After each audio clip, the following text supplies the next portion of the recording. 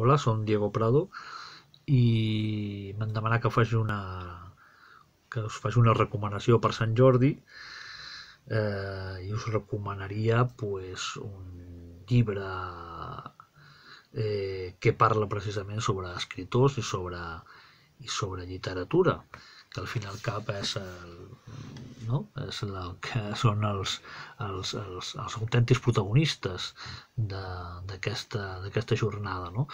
És precisament el meu, el meu darrer llibre publicat, eh, publicat a l'editorial madrilenya Anixo, que és una editorial especialitzada sobretot en assaig, libros dedicados, crónicas apresuradas sobre escritores i literatura és una recopilació d'alguns articles literaris que vaig publicar eh, ja fa algun temps, eh, entre el, 1200, el, mil, el 2008 i 2012 a la premsa, eh, suplements de, de cultura, eh, i que parlen precisament d'això, d'una sèrie d'autors que a mi me van influenciar com a lector i després també, pues, evidentment, com a escriptor.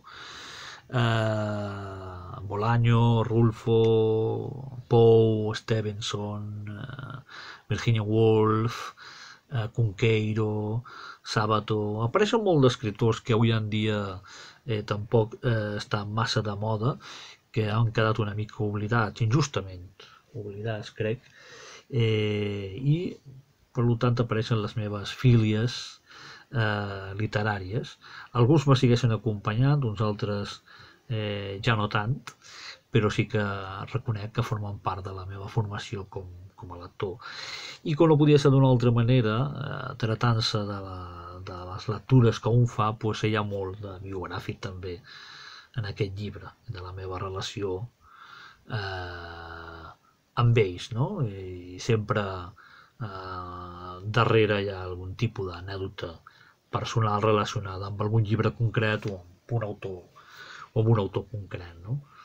Eh, en definitiva, crec que els protagonistes d'aquesta jornada són els llibres i encara que sigui tancats a casa, eh, l'important és eh, estar rodejat de, de llibres i tenir bona lectura per, per, aquesta, per aquesta jornada i per tant eh, la meva recomanació seria aquesta, evidentment hi ha moltes altres eh, que, podeu, que podeu cercar, que podeu, eh, que podeu llegir i crec que l'important sobretot és eh, tenir sempre un bon llibre a mà, que sempre és un bon company en aquests moments eh, complicats. Moltes gràcies.